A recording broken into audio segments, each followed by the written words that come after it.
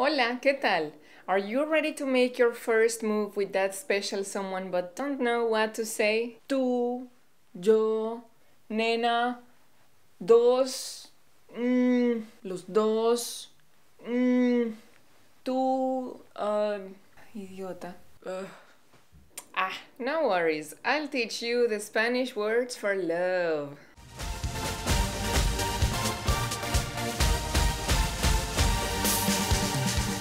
First, what you'll need to do is ask a person out.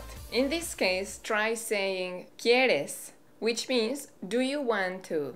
And then any romantic plan you have in mind, like bailar, comer, cenar. You can add conmigo to say with me. So it would go like this. ¿Quieres cenar conmigo?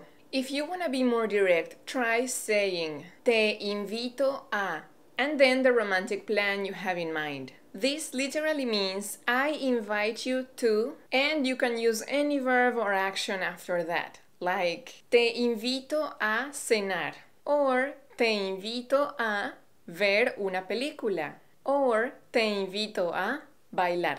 Let's see an example. ¿Quieres cenar conmigo? Sí, está bien. Te invito a ver una película. ¿eh?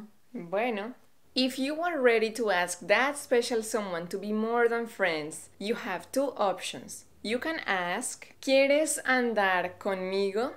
Or, ¿Quieres salir conmigo? Which is basically you asking, Do you want to hang out with me? but in a romantic way. Or you could say, ¿Quieres ser mi novio?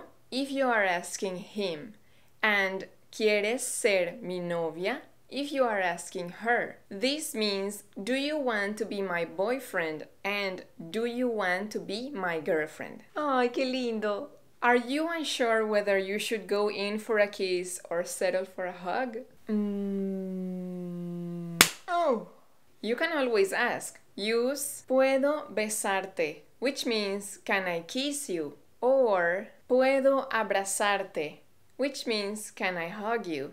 Once you're finally together, you gotta keep that fire burning. Here's some words to add to your arsenal to fan those flames. Say te extraño when you haven't seen that person in a long time. This means I miss you. You can say te amo, which means I love you, but in a romantic way. You can use this expression when you talk to your couple, and you can even use it when you talk to your parents or children. Te quiero means I love you, but in a friendly way. You can use this with your friends and also with your family and couple. Just be careful not to say te amo to a friend. There could be some confusion. Gracias por comer conmigo.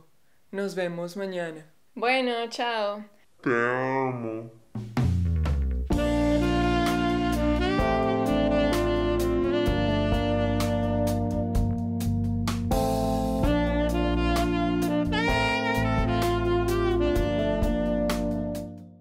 So let's go over what we learned today. When you ask someone out, you can say quieres and then any romantic plan like quieres cenar. You can also say quieres cenar conmigo.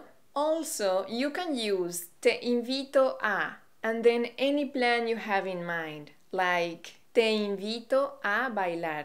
Be polite and ask your special someone if it's okay to kiss them or hug them. Use these questions. ¿Puedo besarte? Which means, can I kiss you? Or, ¿puedo abrazarte? Which means, can I hug you? Ask them if they want to be more than just friends with these questions. ¿Quieres andar conmigo? Or, ¿quieres salir conmigo?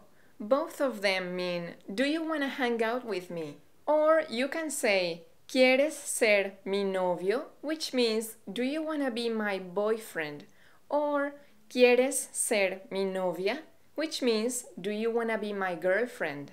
Ay, qué lindo! Finally, use some words to keep that flame alive with expressions like te amo, which means I love you, but in a very romantic way. Or te quiero, which means I love you, in a friendly way. Or te extraño, which means I miss you. That's it for today's lesson. You'll find a link with more information on this topic in the description below. If you have any questions, let us know in the comments. And please subscribe! And remember, if you want to learn a language, why not Spanish?